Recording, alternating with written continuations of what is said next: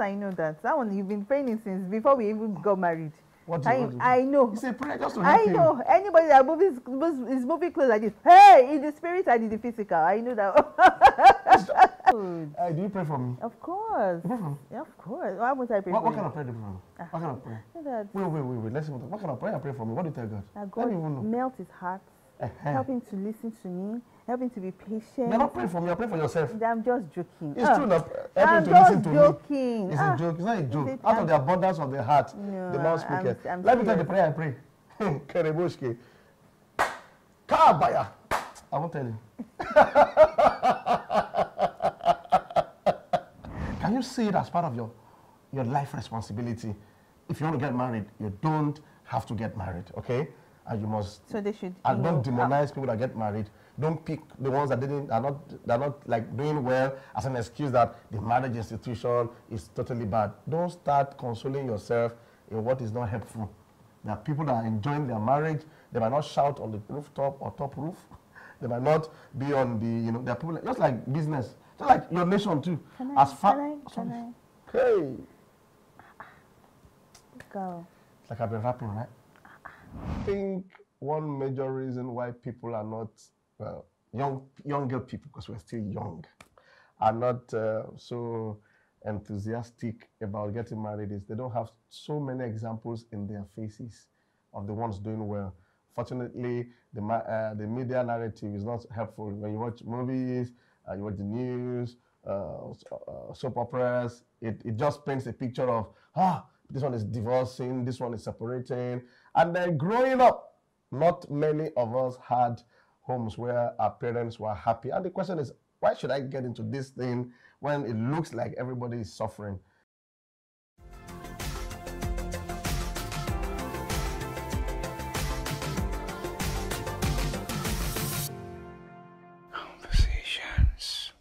Welcome to Conversations with Yemi and Bimbo David. Today we have a lot of things to talk about, especially as it relates to relationships and marriage. We talk about sex, we talk about pregnancy, and anything that is related to that. God will help us today.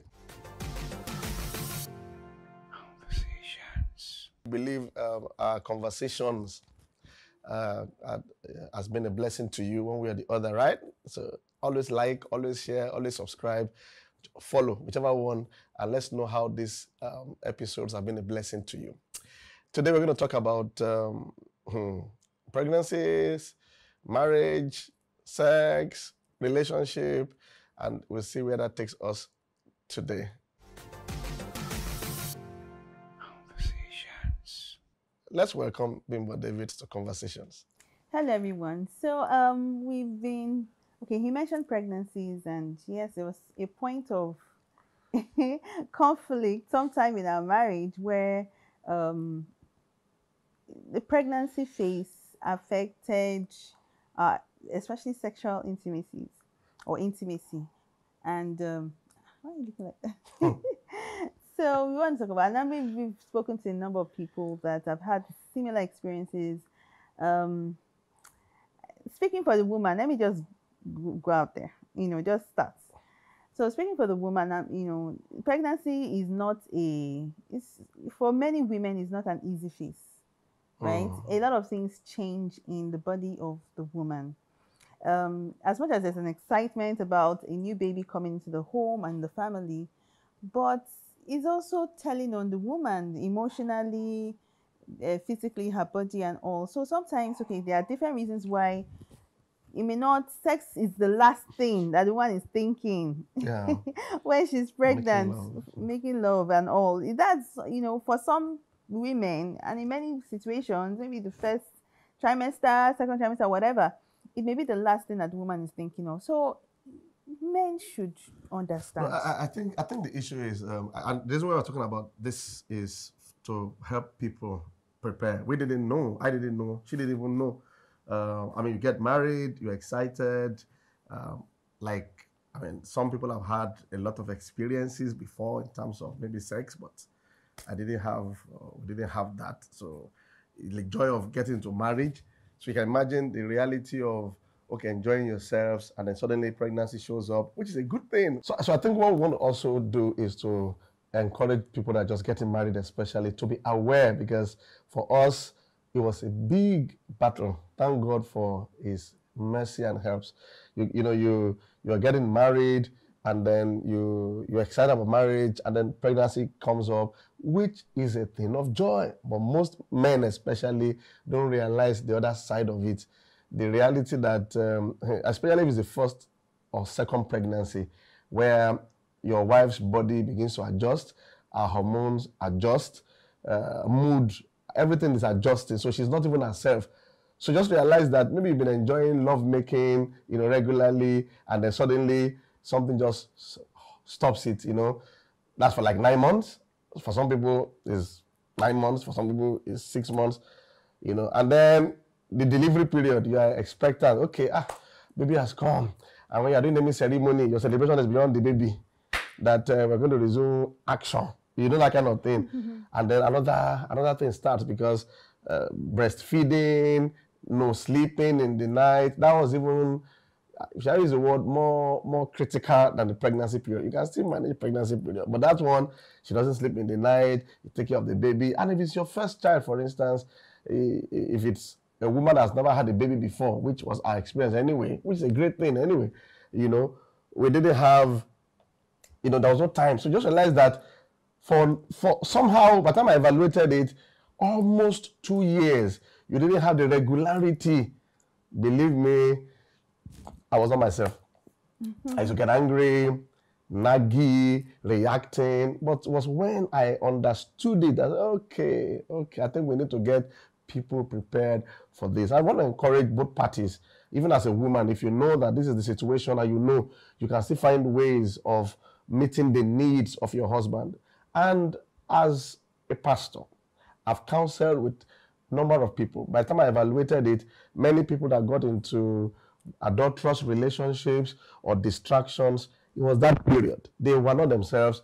They got, and who wants to, you know, overburden a woman that is pregnant or that is nursing a baby? You don't know about, you don't want to, so it's just like, so it's, a, it's an innocent start. And then if you don't, if you're not careful, the devil hijacks that. You find that you are distracted. So I, I, I just want people to be aware, whether it's your first child or second child or third child, pregnancy comes with its own um, addi- ad- uh, additions. Like, you know, at the very root of it that is needed is the word discipline. Oh yes, discipline because you can't really blame your wife or another person. It's just discipline. But why should you be disciplined? Don't let what you do in a temporary way destroy what you what you have in the future. I, I- hope. Ah, why are you looking at me like that? Anyways, you're right. You know, we are be- being aware. Um, I think it's also it's, it's it's also important that we start talking about it even before um, the wedding, pre-counseling. You know, when they come for counseling because it's Hmm. a, it's a major issue. I remember you that when we were, I think the beginning parts of pregnancy was really tough. You know, but as I settled in, and I was, you know, now welcoming it and all. Then the mind, uh, well, not just general, but even for my husband, there were times when you were cautious. You're like, ah, no, ah, I don't want to disturb you. I don't want. And if, if, if, if a lot of ladies know that, they should be able to kind of encourage the man to switch back. Eh, that's what I'm Because saying. when they switch off like something that, the devil now to- tries to give them options. It's something that they need to talk about, not not just with themselves, but talking to experts. In sense that um, it was while we were pregnant. I remember that. Where we were. Oh, that's what they say. Okay. That's what they say. Okay, while we were pregnant. Uh-huh. Oh, I like that. I didn't know. That How do you mean, sir? both of us were expecting a baby. Is it not? Is it male? Akika. Sorry, continue. it was were pregnant that the doctor, you know. Oh my goodness. We were pregnant. I wasn't pregnant. Don't tell me anything. While I was pregnant, see, that's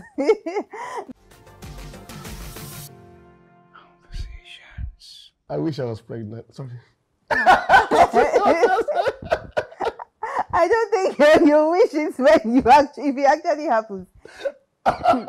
Go ahead, please. You know, so well, um, during our own season, yeah. um, I remember that it was a medical, you know, advice Okay. from our doctor that you know no Take intimacy the first three months allow this thing because there were times when you know depending well we have four daughters and some for some of those their pregnancies or even before their them i had some miscarriages you know in Oh, along the way so it was instructed by the doctor that keep calm don't touch her for this number of And then you'll be shaking your head in the hospital, you know, the doctor will be what do talking. you want me You'll be to doing like this. do And you'll be feeling that they don't so punish you wait, again. no, but you you actually you assume that the woman too is not missing the intimacy. That's what you think. Um, That's what you think. That it's only men that want. no, there's the a difference intimacy and sexual. That's what I'm, sex, I'm talking about Are you saying sexual that when you are pregnant, you also Yes. miss my intimacy Later with come you? and meet you sometimes. I thought and it you was just to saying that- pacify. I thought it was just to pacify me, not because.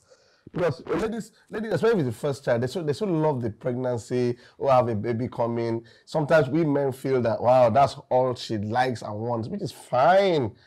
But we, we feel unattended to at times. See that the, the But we thing is, the thing is, I think I think what happens is that when um, a couple is pregnant or expecting, they feel that it's only the woman that should learn about the pregnancy. Hmm. I think both parties, husband and wife, need to read together because pregnancies are different. There are no two pregnancies that are the same.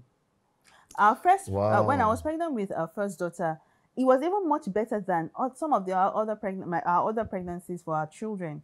So they need to understand that the man, when the man understands that, even biologically, you know, there are things that they should know that this is what is happening in the woman's body. But I think the woman should educate. The, the The woman together is not doesn't easy. know. The woman too doesn't know. How will she know?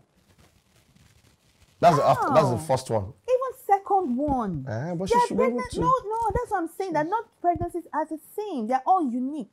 Okay. So both of them still need to sit down together and learn it. So of course the woman may know more.